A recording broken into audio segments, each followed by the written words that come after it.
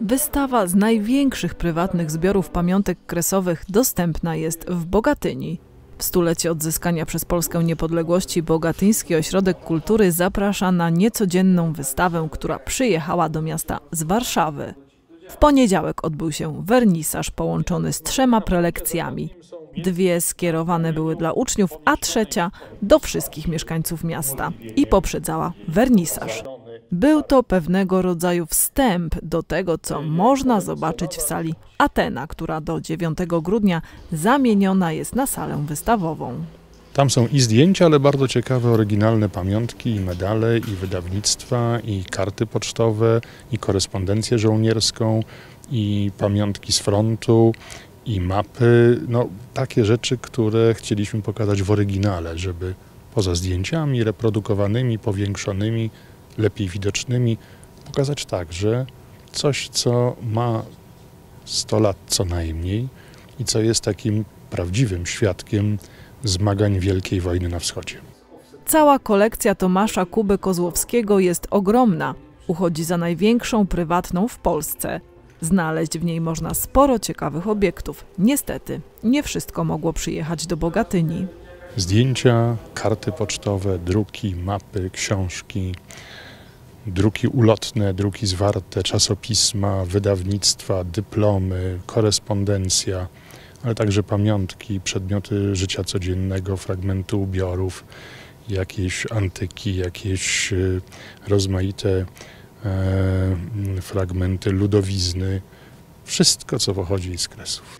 Jak mówi właściciel kolekcji, początki zbierania materiałów były prozaiczne i związane z miłością do mamy. Niemal cała moja rodzina pochodzi z Kresów. Stamtąd zostali wypędzeni, tam stracili wszystko: majątki, domy, mieszkania.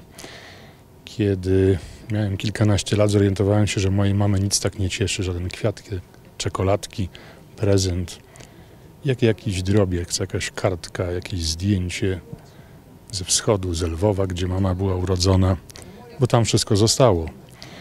I najpierw kupowałem je dla mojej mamy. Potem weszło mi w krew, a ponieważ mam żyłkę kolekcjonerską, zacząłem sam zbierać. I dzisiaj jest to największa prywatna kolekcja pamiątek z kresów, licząca kilkadziesiąt tysięcy obiektów, z której rodziły się kolejne wystawy, w tym wystawa Wielka Wojna na Wschodzie. Wernisaż miał miejsce w poniedziałek i był to bardzo historyczny dzień w Bogatyńskim Ośrodku Kultury. Piłsudski zrobił jedną rzecz. W roku 1917 podczas kiedy kolejne zaciągi polskich żołnierzy miały być werbowane do armii Austro-Węgier, odpowiedział, że przysięgi nie złoży, ponieważ ta przysięga opierała się między innymi na słowach o wierności cesarzowi i Austro-Węgrom i odpowiedział, że z trupami nie idzie. Już wtedy widział, że jest jakby polska droga, która może spowodować to, że będziemy cieszyć się niepodległością. Udowodnił to poprzez no, często bardzo krwawe, śmiertelne boje, na przykład pod Łowczówkiem i wiele, wiele innych, które spowodowały, że legiony stały się sławne.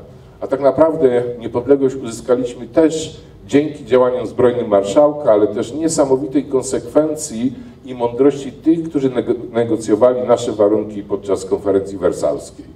I tak naprawdę wiele splotów okoliczności wpłynęło na to, że Polska stała się krajem wolnym, również ta okrutna i ta bardzo bezwzględna wojna zarówno na froncie zachodnim i wschodnim.